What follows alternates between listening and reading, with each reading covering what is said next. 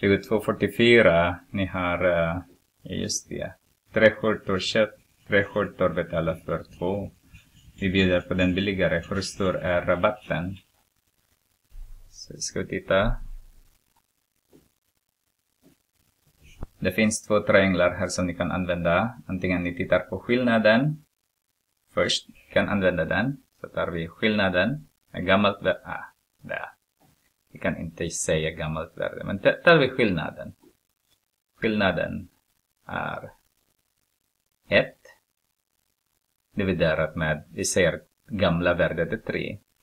Så har vi 0,33 cirka, eller cirka 33 procent, 3 då. Men 33 procent, 3, men okej då. 3 där också.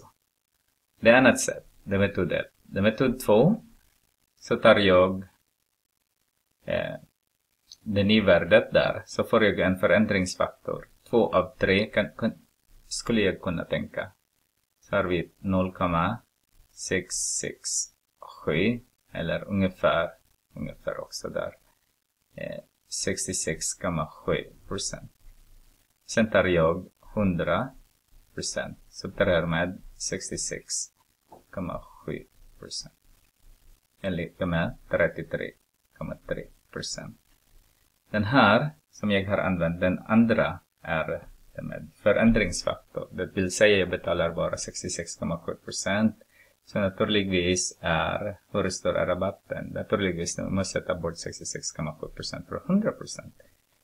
Alltså tre skjortor till exempel.